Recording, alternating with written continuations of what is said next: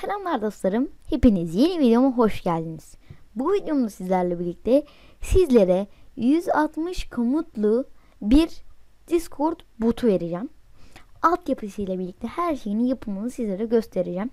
Hemen şöyle e, bu pardon hemen operamıza giriyoruz ve buradan buraya gençler size açıklama kısmında verdiğim yere tıklıyorsunuz altyapı kısmına. Size böyle bir yere yönlendirecek.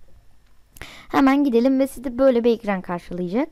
Ee, buradan Show değil de VS Soccer'a basıyoruz. Ee, ondan sonra buradan gördüğünüz üzere geldi. Ee, buradan botumuzu oluşturmamız gerekiyor. Bu botu oluşturmak için Discord Developer Portal'a giriyoruz. Ee, New Application diyoruz ve buradan Video Bot yapacağım ben ismi. Siz istediğiniz isim yapabilirsiniz. Bundan sonra Create'e basıyoruz. Create e, oluşturduk botumuzu. Bu arada iki sekme yaptım. E, hemen şöyle şurayı kapatıp burada e, developer portalına tekrardan girelim ve video bot diye bir botumuz oluştu. Buraya basıyoruz ve bir tane isterseniz ekleyebilirsiniz. Ben öylesine ekliyorum. E, buradan bota geliyoruz. Bakın buradan bot. F-bot yani bot oluşturacağız. Bot hesabı oluşturacağız. Buradan tokenini aldık. E, sonra burada ne yapacağız? İlk önce Remix to Edit'e basıyoruz. Size yeni bir e, kullanıcı ismiyle bir sayfa hazırlıyor. Bu sayfaya geldikten sonra biraz bekliyoruz. Ve buradan ayarlar JSON'a giriyoruz. Token. İlk önce tokenimizi yazalım ve CTRL S yapalım. ID yerine ID'yi siliyoruz. Kimin ID'si? Yani sahip. Mesela kendinize mi yapacaksınız? Hemen kendinize sağ tıklıyorsunuz Buradan ID'yi kopyalaya basıyorsun. Bu arada gençler videoyu bölüyorum kusura bakmayın. E, masaüstü ve görev çubuğu sizlerin dikkatini çekmiş olabilir veya Discord'daki arka planım. Bunların nasıl yapıldığını öğrenmek istiyorsunuz. Tamam, Ee, tamam. anket inandım, kısmından tamam. oylamanız yeterlidir. Ama bu videoda 20 like gelirse çok mutlu olurum. Hadi videomuza devam edelim. Şimdi gençler gördüğünüz üzere botumuz hazırdı buraya yapıştırdık. ID'mizi kopyalayalım. Buradan ID kopyalaya bastık ve sahip biziz yani. Benim ID'm.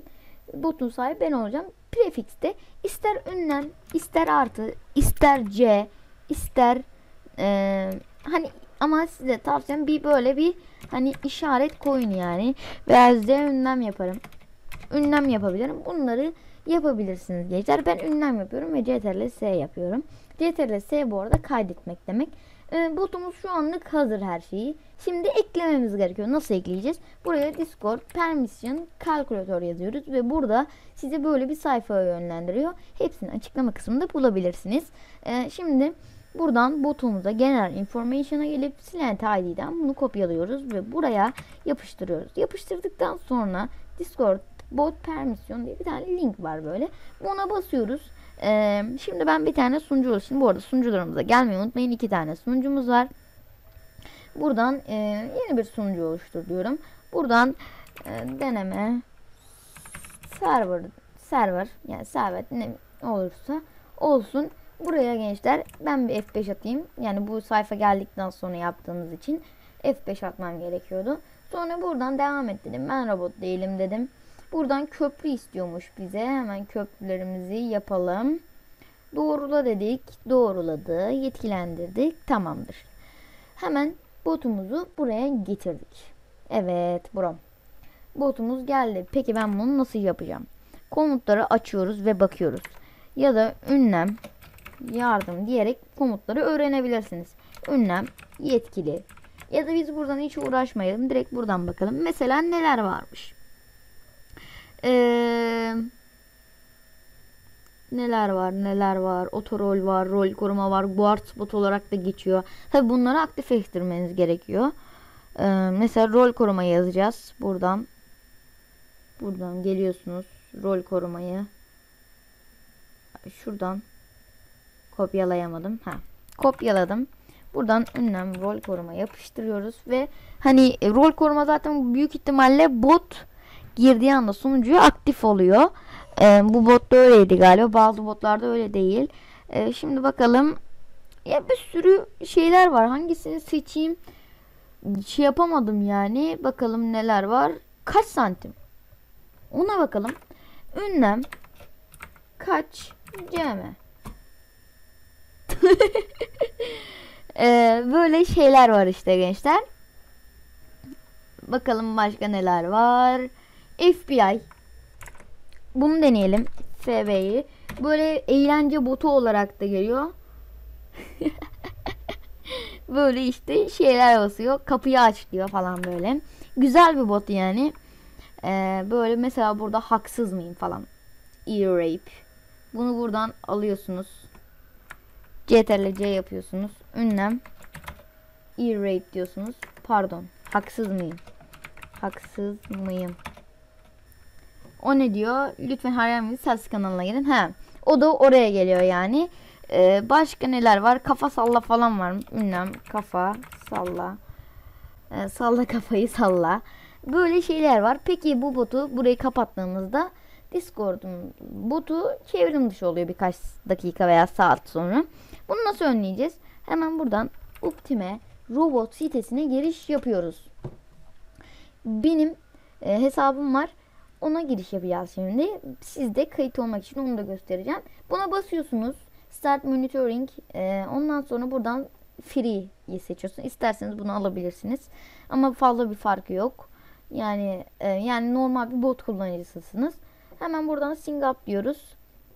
Buradan benim hesabım var. Buradan isminizi, mailinizi, bu arada mail falan sallamayın. E, hesaba giriş yapmanızın activation gönderiyor sizlere.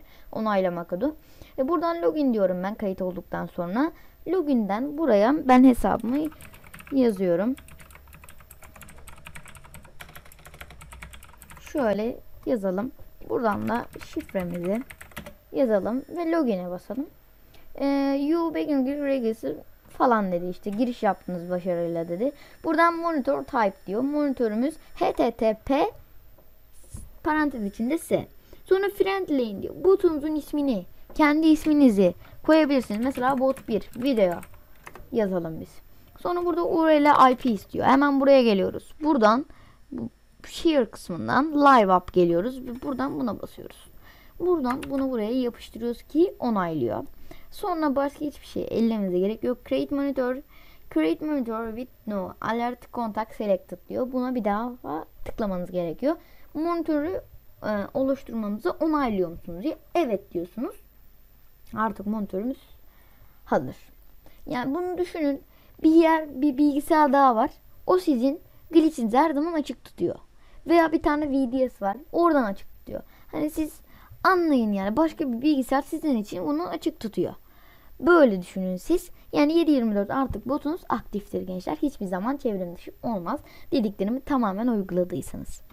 Buradan bunu e, artık kapatabiliriz. Ee, gençler güzel bir video oldu. Sizleri de bilgilendirdim. Ee, inşallah videomu beğenmişsinizdir.